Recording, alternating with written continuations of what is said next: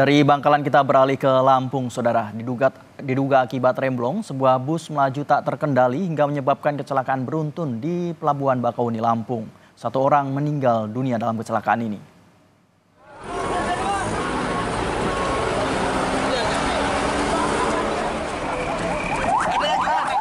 Satu orang meninggal dunia dan tujuh orang mengalami luka berat, di mana satu di antaranya merupakan anggota kepolisian yang sedang bertugas. Kecelakaan terjadi diduga akibat sebuah bus yang baru keluar dari tol Bakauni Selatan mengalami remblong.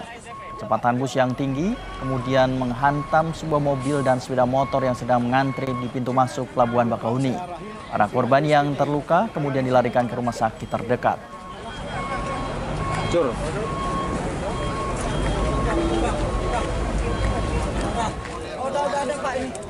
Tahu ditabrak dari belakang. Saya nggak tahu pak, udah tahu-tahu eh gitu saya udah ada apa gitu doang. Hmm. Saya cari anak saya yang besar itu tadi yang ketindihan itu pintunya buka itu. Sama berapa orang dalam mobil? Saya lima pak, Berlima. anak saya tiga, istri saya, saya sama saya.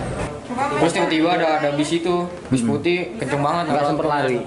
Kagak sempet soalnya kalangan mobil. Oh, Lagi juga nggak tahu. Tapi posisi lagi diperiksa tadi. Iya,